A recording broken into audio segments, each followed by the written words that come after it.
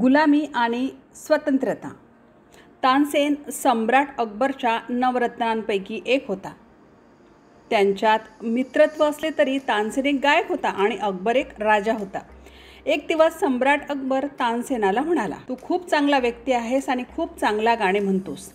तुझा आवाजही स्वर्गीय आहे परंतु तरीही तुझ्या गाण्याला तुझ्या गुरूंच्या गाण्याची सर नाही.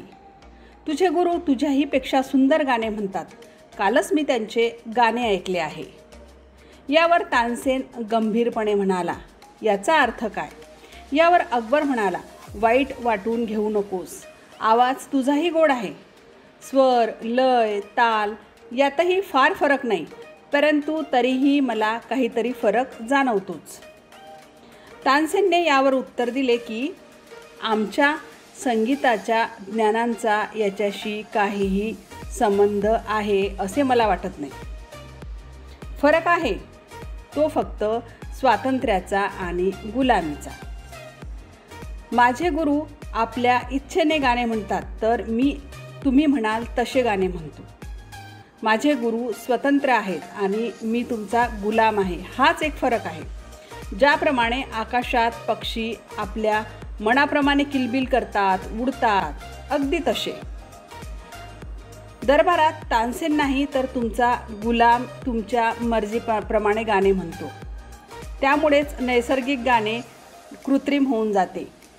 माझे गुरु स्वतंत्रपणे गाणे म्हणतात. त्यामुळे ते माझ्याही पेक्षा सुंदर गाणे प्रदर्शित करू शकतात. ते कुणाचेही गुलाम नाहीत.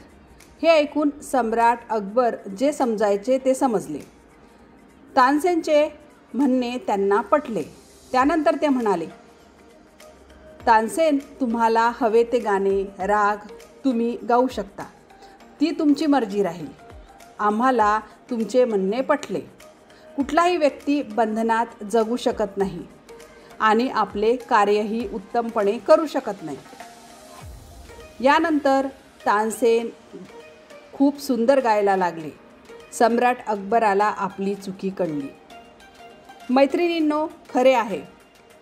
प्रत्येक व्यक्तीला स्वातंत्र्य दिले तर तो आपले कार्य नीटपणे करू शकतो हे आपल्याला यावरून शिकायला मिळते. गोष्ट कशी वाटली? नक्की सांगा. धन्यवाद.